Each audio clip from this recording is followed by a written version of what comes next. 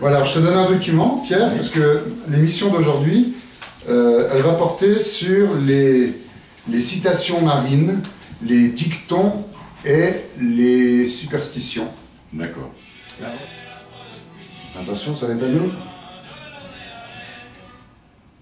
Voilà, La Bouline, euh, une chanson à l'auberge de la marine, donc euh, issue de leur album Chanson des deux marines. On continue avec euh, nos mots de mer, Oui. notre verbe Alors, je, aquatique. Oui. Moi, je, il y a le côté oiseau.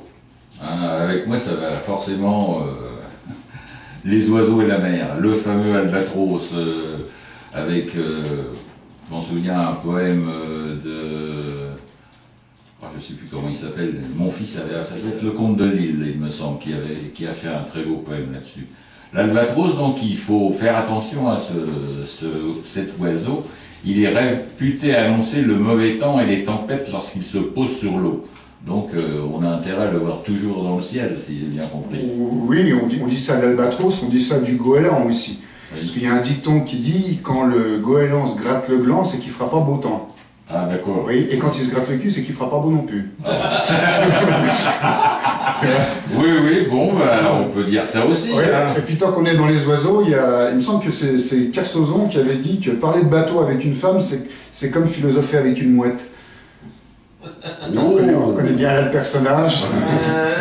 Ah, bah, on, voit, on, on voit pourquoi il est- fait un long séjour euh, quand il était pas sur la mer euh, dans les grosses têtes. Quoi. Mais par contre, le goéland, c'est quand même celui qui représente l'âme d'un mort.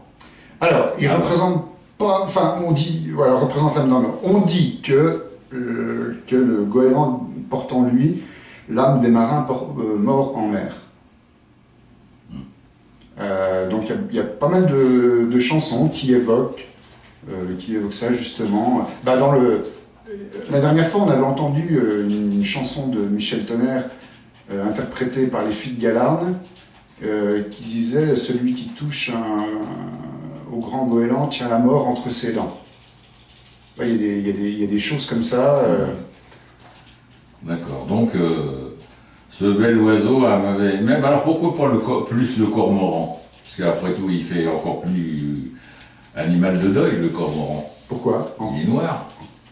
Ah oui.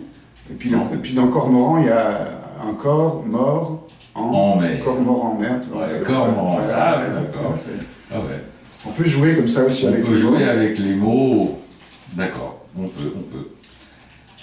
Euh, Qu'est-ce que je voulais dire? La mouette, alors là, par exemple, la mouette, ça, ça, ça, ça, aveugle. euh, Bon, il y a un film célèbre où il y a quelqu'un qui crie Vos gueules les mouettes. Oui. Il n'y a pas que ça. Non, il n'y a pas que ça. Je vais, je vais noter des, des- des choses aussi.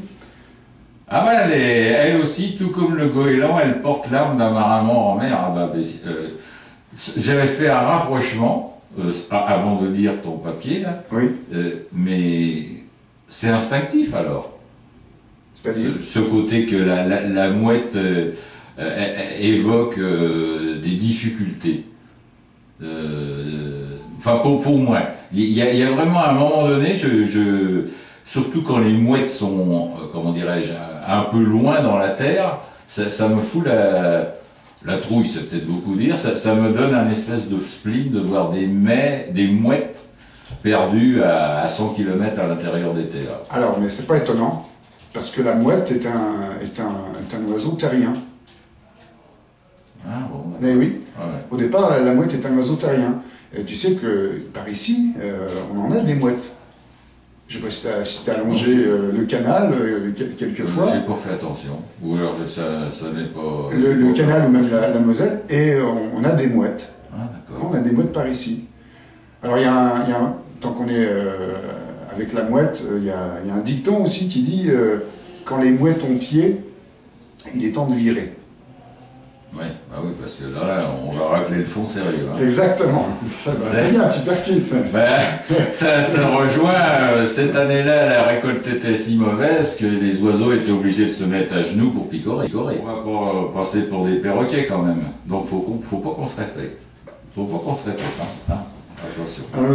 Donc euh, le perroquet, le perroquet, euh, il a toute une histoire, notamment avec euh, les capitaines euh, Farlow un petit peu en colère, euh, qui ont souvent un perroquet sur le dos et qui celui-ci leur pose des problèmes. Oui, alors ça, ça, ça renvoie aux flibustiers. Aux flibustiers. Alors, les flibustiers, c'est quoi les Ils ne sont pas des corsaires, lesquels ne sont pas non plus des pirates, parce qu'ils ne sont pas armés de la même façon par le roi et ils n'ont pas la même protection. Oh là là là là, ça, ça c'est une grosse macédoine, ça. Bah oui, mais on- Non mais c'est bien. on n'a pas beaucoup de... C'est bien, on est, on est Allez, remets, ça tout, aussi. remets tout dans l'ordre. Alors là, les, les flibustiers, ce sont les, les pirates des Caraïbes. D'accord. Et Et... les forbans, euh, ce sont les, les pirates euh, des, des mers euh, de par chez nous. Les barbaresques, ce sont les pirates de, de la mer Méditerranée. Donc voilà, donc pour les, les flibustiers, alors, le perroquet, lui, bah, ça, ça renvoie forcément flibustiers. puisque Je te disais, très belle chanson d'Hervé ouais, ouais. Ça me rappelle une chanson que j'aimais beaucoup, qui s'appelait La tendresse, euh, par une fille euh, dont le nom m'échappe, qui est réputée pour ses beaux yeux. Je sais plus comment ça Il y en a tellement. La tendresse. Mais c'est bon. On peut lire sans. Ça va être à nous La tendresse, c'est tout un sujet. Voilà, je te parlais tout à l'heure de la figure de proue.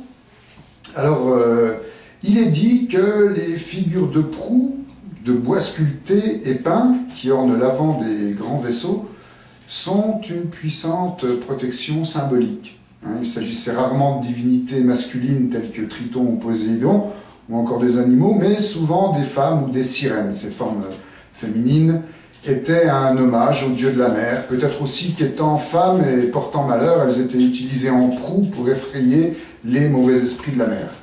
Donc ça, c'est redondant par rapport à ce qu'on disait euh, tout à l'heure. Tous les bateaux du monde, la collection de l'amiral Paris du 10 mars au 19 septembre au Musée national de la marine à Paris. Et donc dans cet endroit, vous pourrez voir euh, le propos de l'exposition est enrichi d'illustrations de peintres voyageurs, de contrepoints de, sur techniques, de rituels, d'ornementation, euh, présentation du milieu, la présentation euh, des continuateurs de l'amiral Paris qui souligne le lien entre le passé et le présent, une scénographie dynamique réservant un large part au film, rendant plus vivante cette grande aventure universelle. Donc destinée www.musée-marine.fr et vous aurez tous les renseignements sur euh, les collections qui sont des navires qui viennent des cinq continents euh, et qui, à mon avis, euh, vu la photo que j'ai sous les yeux, est absolument extraordinaire. Ah oui, euh, apparemment, euh, oui, oui, beaucoup de, de bateaux, de bateaux de mer et de fleuves, je vois aussi. Euh, oui, ça a l'air d'être bien. Ça, Ça- donc ça se passe à Paris. Voilà, jusqu'à Euh, euh, quand même un beau bout de temps, puisque ça va jusqu'en septembre. Bon, ben, on, souhaite à cette euh, fabuleuse collection une bonne chance C'est bon vent. et bon vent. Alors, en parlant de, en parlant de chance, donc on revient à nos dictons et proverbes. Il ne faut jamais souhaiter bonne chance à un marin en train de s'embarquer. Ça, ça, attirerait la déveine durant toute la traversée. Voilà, cracher, c'est exercer une protection magique contre le mauvais sort, contre le mauvais sort. hein. Donc les pêcheurs cracher sur leur filet pour assurer une, bonne pêche. Et alors, je vois aussi pincer à un marin. La vie d'un marin était tellement aléatoire que durant des siècles, même ceux qui revenaient au port sains et saufs étaient soupçonnés de n'être plus au monde des vivants. Pour s'assurer donc que le, marin était réel et non pas un fantôme, il fallait le pincer. Oui, parce que, parce que donc il était soupçonné de n'être plus du monde des, des viv- vivants.